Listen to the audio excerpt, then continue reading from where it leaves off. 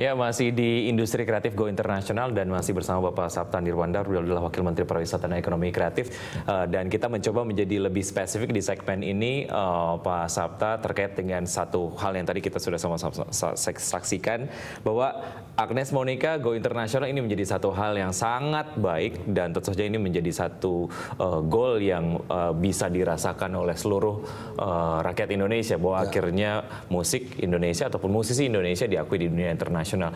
Namun PR berikutnya adalah bagaimana memunculkan Agnes Monica Agnes Monica baru di dunia internasional gitu ya. Sejauh mana ini menjadi satu concern juga dari uh, perekonomian uh, pariwisata dan ekonomi kreatif sebetulnya Pak Sabta? Iya, pertama tentunya Agnes Monica ini memang terkenal artis yang uh, pekerja keras ya mm -hmm. dan mhm. juga yang sangat uh, berani mencoba berbagai macam uh, apa tren musik mm -hmm. ya mm -hmm. yang sehingga menurut saya satu saat betul mereka beliau dia bisa menjadi uh, apa katakanlah uh, ideal idola juga buat hmm. uh, dunia internasional hmm. dan nampaknya di tadi kita lihat begitu uh, menggembirakan hmm. dia diakui di MTV yang yeah. yang tidak mudah untuk masuk hmm. ke sana hmm. dan mudah-mudahan ini bisa diikuti juga uh, para musisi muda kita dan para hmm. penyanyi muda kita yang yang harus tentunya melalui kerja keras seperti Monica lakukan. Oke, okay, ya. Satu pemerintah ya. selalu memberikan wahana ya untuk mereka bisa tampil dan juga kita selalu uh, tentunya uh, mendorong agar hmm. mereka bisa tampil di dunia internasional hmm. melalui berbagai macam show hmm. dan tentunya juga di dalam negeri. Ya. Nah ini yang kita lakukan. Oke, satu permasalahan yang juga klasik terkait dengan uh, ya. pertumbuhan dari industri musik di Indonesia yaitu mengenai masalah pembajakan. Sebetulnya ya. uh, insentif apa ataupun mungkin bantuan apa yang sebetulnya diharapkan oleh teman-teman musisi di Indonesia supaya memang pembajakan ini sudah tidak jadi jadi bahasan beberapa tahun kemudian, uh, Pak?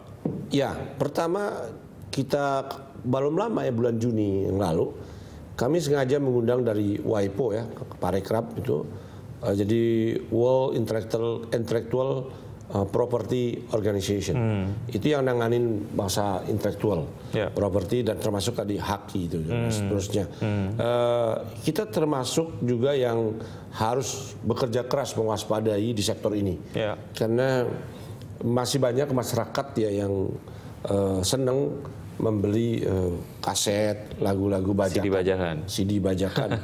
dan ini yang tentunya perlu ada sekali lagi law enforcement yang kuat hmm. dan tentunya kesadaran masyarakat yeah. untuk menghargai karya-karya seniman kita ini yeah.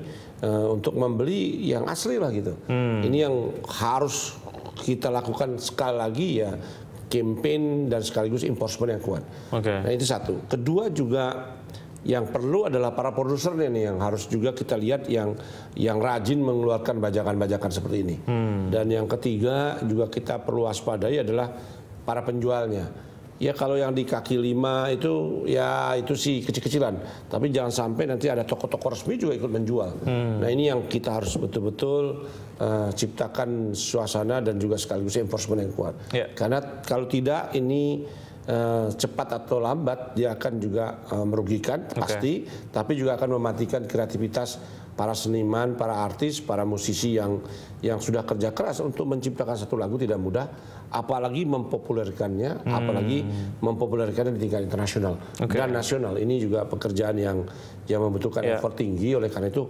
harus dihargai okay. dan juga ya sudah waktunya lah kita beramai-ramai kalau beli beli yang original. Original. Oke, langkah yang sudah dilakukan kementerian dan juga pihak-pihak terkait katakanlah kepolisian supaya memang uh, apa namanya ada ada satu efek jerah yang dirasakan oleh pelaku pembajakan di industri musik ini, uh, Pak Sabta. Apa saja? Uh, tentunya kalau sudah bagian enforcement ini kan kita kerjasama dengan polisi hmm. dan juga kita kerjasama dengan yang mengeluarkan izin ya kalau itu uh, apa, apa katakanlah uh, produser, publisher atau juga termasuk uh, katakanlah uh, rumah-rumah uh, PH yang menjual, iya. rumah-rumah produksi dan yang menjual ya termasuk mm -hmm. ada uh, toko-toko kaset dan seterusnya ini yeah. kita lakukan pengawasan. Nah, mm -hmm. ini yang tentunya tanpa kerjasama dan dukungan dari masyarakat yeah. uh, keberhasilannya juga agak agak susah itu. Mm. Nah ini yang harus kerjasama dan kita selalu lakukan enforcement buat mereka. Mm. Ini ini yang uh, kerja yang tidak mudah.